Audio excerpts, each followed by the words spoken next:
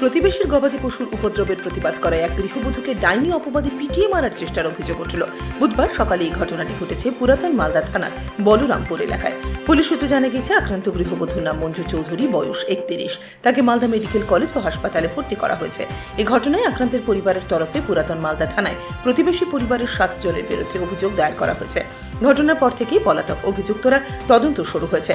স্থানীয় সূত্রে জানা গিয়েছে, বলরামপুর এলাকায় পাশাপাশি বাড়িতেই থাকেন মঞ্জু ও পরমেশ্বর চৌধুরীর পরিবার। অভিযোগ, পরমেশ্বরের গৃহপালিত গরু, ছাগল মাঝে মধ্যে মঞ্জুর বাড়িতে ঢুকে ধান সহ অন্যান্য খাদ্য সামগ্রী খেয়ে ফেলে।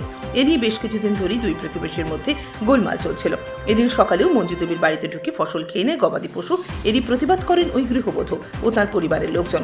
অভিযোগ, এরপরই পরমেশ্বর চৌধুরী তার দলবল নিয়ে মঞ্জুর ওপর চড়াও হয়। ধারালো অস্ত্র দিয়ে গৃহবধূর উপর হামলা চালানো হয়, এমনকি তাকে ডাইনি অপবাদও দেওয়া হয় বলে অভিযোগ। ঘটনার তদন্ত করছে পুরাতন মালদা থানার পুলিশ।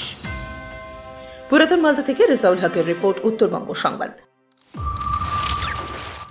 সমস্ত খবরের ভিডিও আপডেট পেতে সাবস্ক্রাইব করুন আমাদের নতুন ইউটিউব চ্যানেল উত্তরবঙ্গ সংবাদ টিভি।